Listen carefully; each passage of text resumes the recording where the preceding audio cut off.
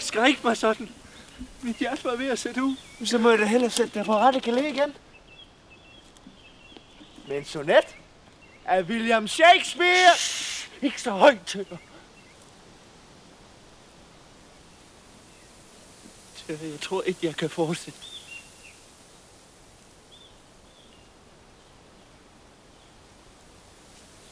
Hvad mener du, Laurits? Middag med vores fædre. Du så dem, Tør. Jeg tror, deres mistænksomhed vil vokse. Den vil ikke vokse. Ikke som vores kærlighed. Og hvordan ved du det? Jeg ved, hvad kærlighed er.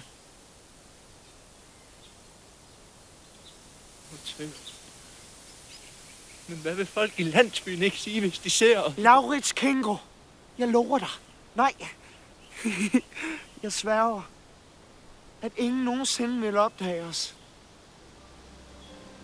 Tør.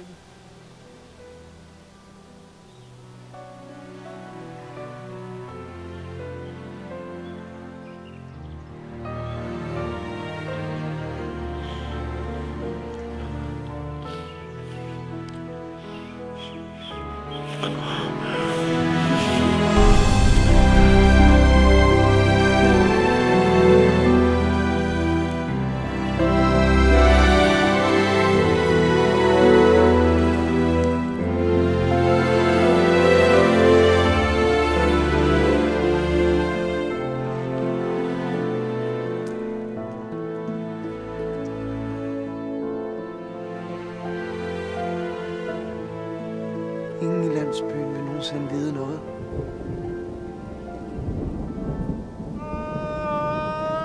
Og siger det til hele landsbyen! Ah! Axel! Tør. Han Tør! lige her.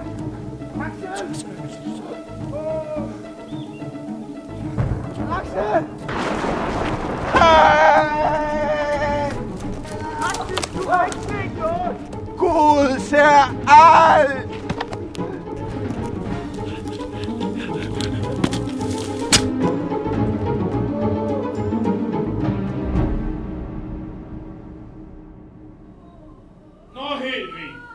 Hvordan står det til?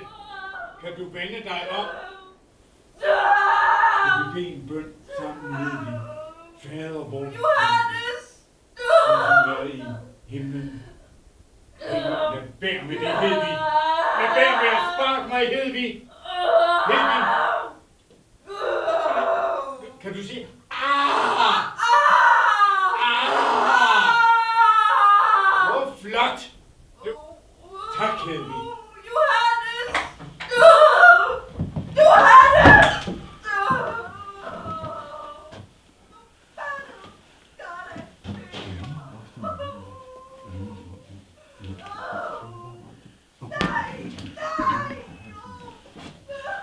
Jamen gør så noget ikke frygtelig ondt?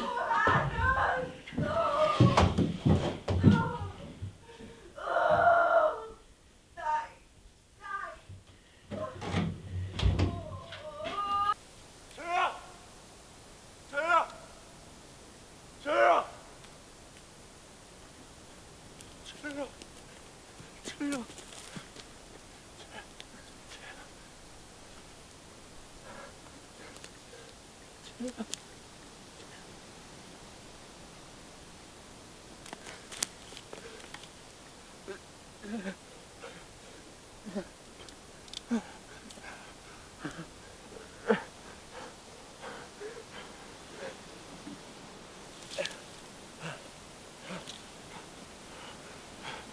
ну, больше чего.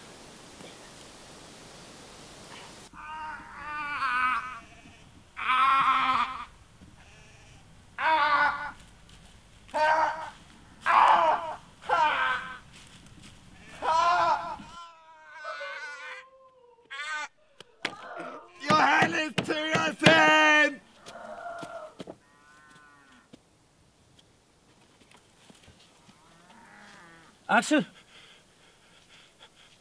Hvad er der på færre, Axel? Og så din søn, Tøre Thøgersen, Hvad er der med min søn, Axel? og jeg kom ind. Nej, selvfølgelig må du ikke komme indenfor. Hvad er på færre? Jeg så de kysse! Tøger har fået en veninde. Og det var da rart at høre, Axel. Tak for det. Ej! En Laurits! Hvad er det med Laurits? Og så præstens søn og de søn tør tør sig kyssede. Er du klar over, hvad du står og siger til mig? Hvad? Ah! Er det sandt, Axel? Jeg lyver ikke. Man spreder ikke sådan nogle rygter rundt i landsbyen. Jeg så de kyssede.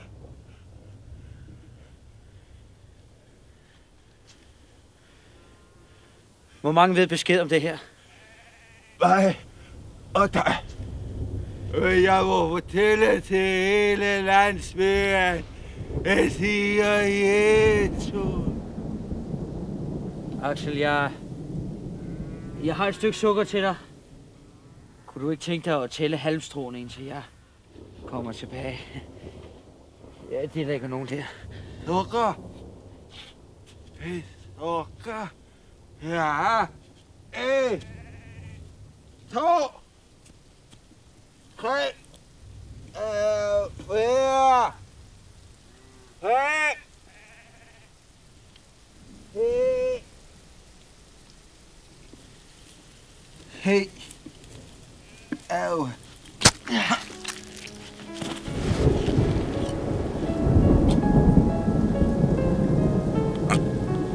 Good, sir. I.